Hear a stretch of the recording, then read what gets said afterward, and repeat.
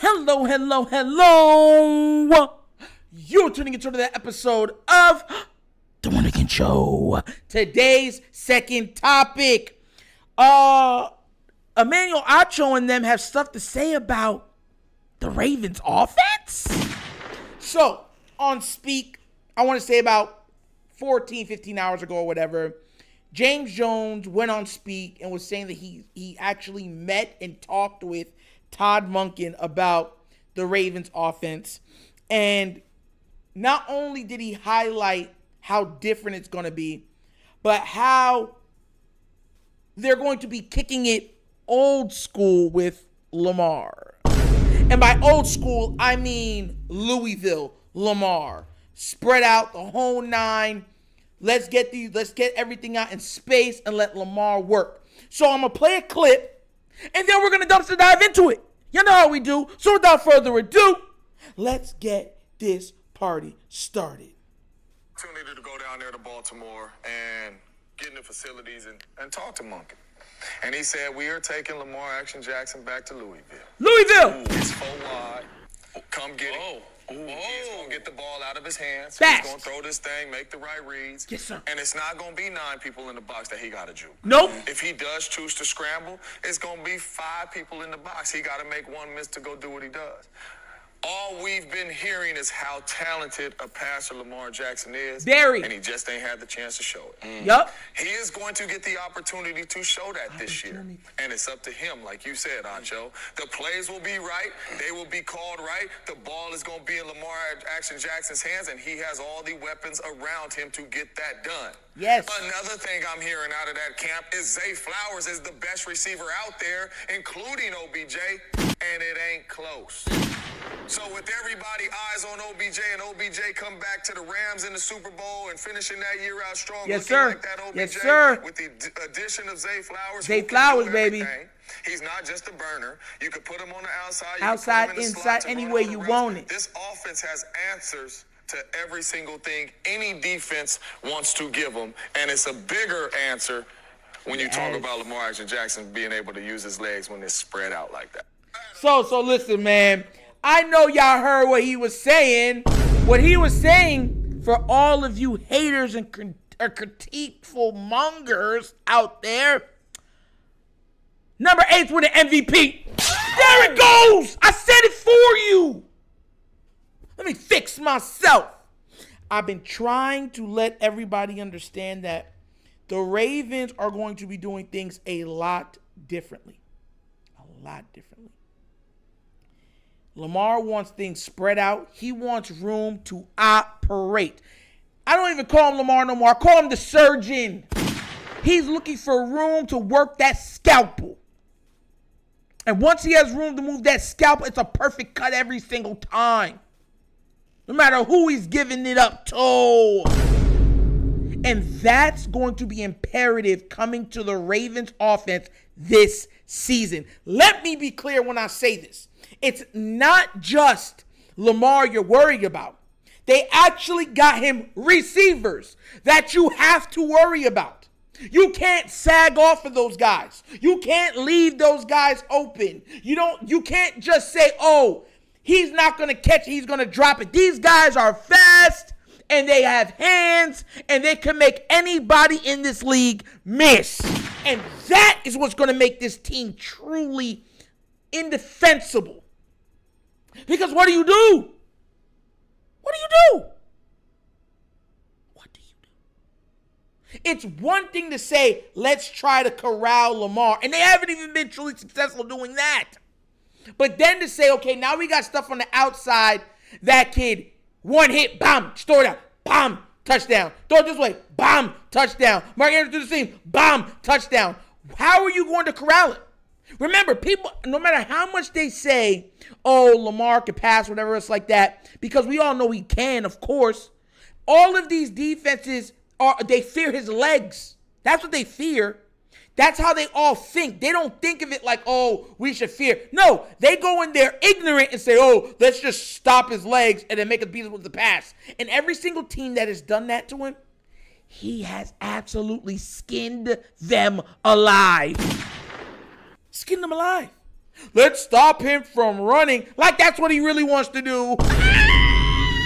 if you let Lamar get 500 passing yards, he's going to get 500 passing yards.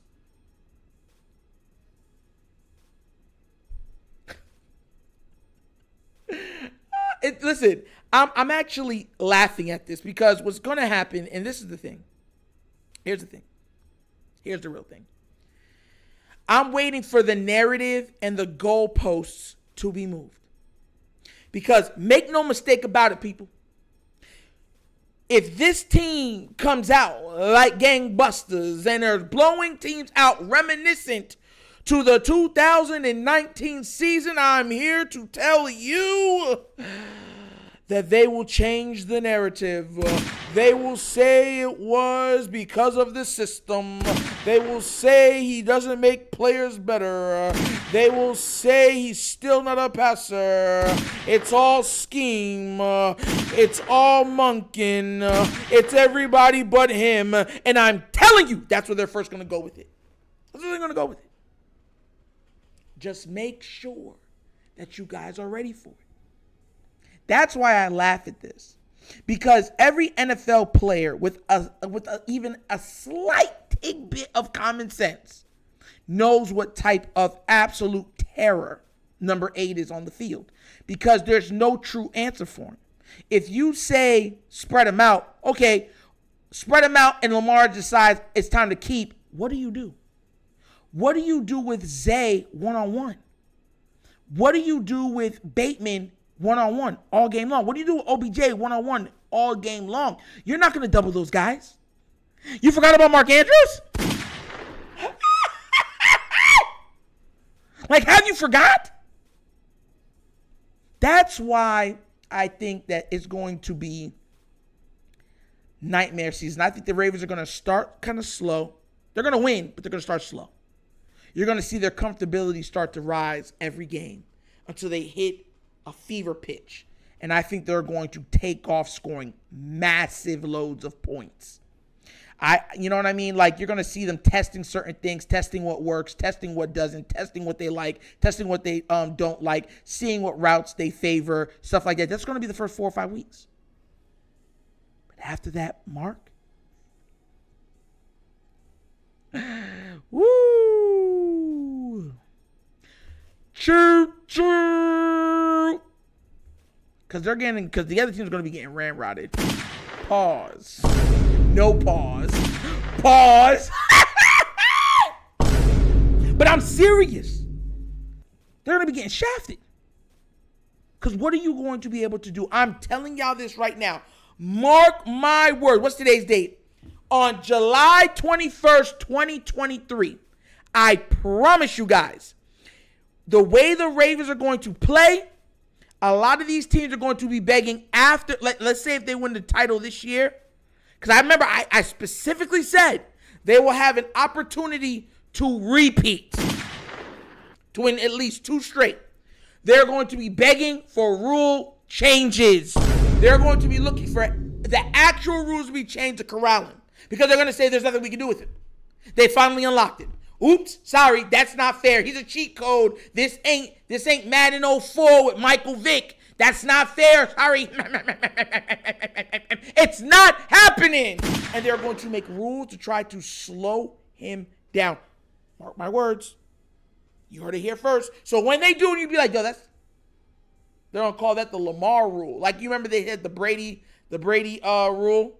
Remember with the going at the legs of the quarterback and stuff like that when he broke his leg and everything else? He'll be here. I'm telling you. I truly do believe that the Ravens are going to open a lot of people's eyes this year. And look, let's be real. We know how this team goes. Rookie of the, I mean, rookie offensive player of the year. It, it very well could be Zay Flowers. It very well could be. And if it is, that means this team is scoring a lot of points. And if it is, that means Lamar is throwing for a lot of yards and and throwing a lot of touchdowns also. And this team is scoring at a rapid a, a rapid pace that I don't think anybody's going to be able to keep up with them because when they switch back to running the ball, they have the personnel to absolutely bludgeon you to death slowly but surely, especially that they've retained Gus and they still got Lamar Jackson being able to break and, and, and hit any scene he wants and just go. But what do you guys think? Do you think James Jones is wrong? Do you think that they're actually just going to be running Lamar like before? Or do you think they're going to open this thing up and, and open it to a world of new possibilities? Let me know down in the comment section, okay? But that's an episode of the Wunderkind Show! Thank you all for watching. You know how we get down. We have fun and we laugh. Everything we talk about is rooted in what? Facts and truth. Please do remember, like, subscribe, hit the notification bell, and leave a comment. You know I love the comments. Just be respectful, please. And if you would like to donate to this channel, bottom of the screen on this side, QR code. QR codes to a Cash App. Cash App is located in the description of every video that we do, and the name of it is Money Sign The Wunderkind Show. Also available, last but not least, is the Patreon. I'm telling you guys, the extra tiers is available. And it gives you a lot of extra stuff. Check it out. It's an amazing buy, and it helps support the channel, and it gives you more access. I mean, what? I mean, come on now. And I'm working on some things. So the extra access, um, especially during the year, let's just say secret interviews and stuff like that. Just saying.